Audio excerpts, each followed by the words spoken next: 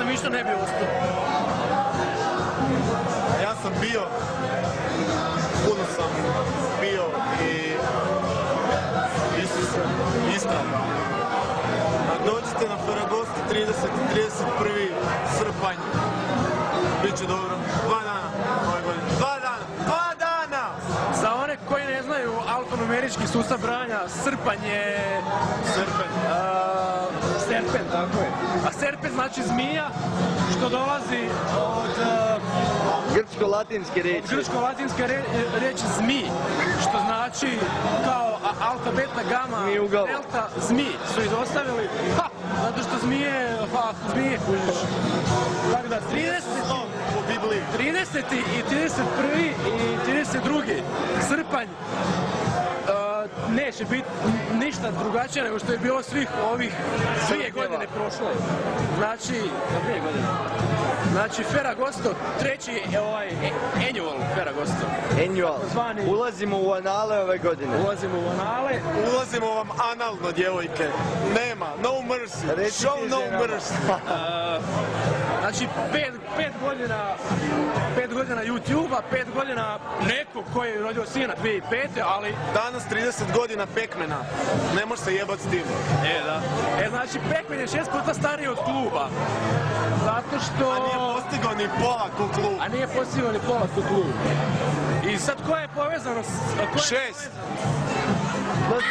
Postoje, postoje četiri duha u Pekmenu, Slinky, Pinky, Dinky i nemam pojma.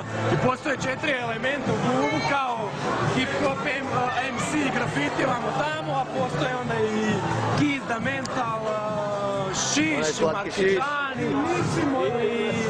Markeđani je tu.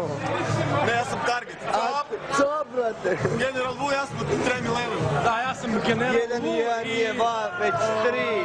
vrati se, vrati se na Dunav, opalio sam šminku. I pokupit ću vam pin. Opako, dečki. Ja sam kao, samo malo da se sjetim kako se zove, a, ako imaš još, jel imaš još vrpce? A, naću nešto. A, ja sam kao Dave Mustaine Metalike. A svi oni koji slušaju metal znaju da je Dave Mustaine bio član Metalike koji je nasilno morao otići i onda je osnovao Megadeth. Ja ću osnovat neki drugi klub. Žalim se, ja sam nekad bio klub igrača. U klubu.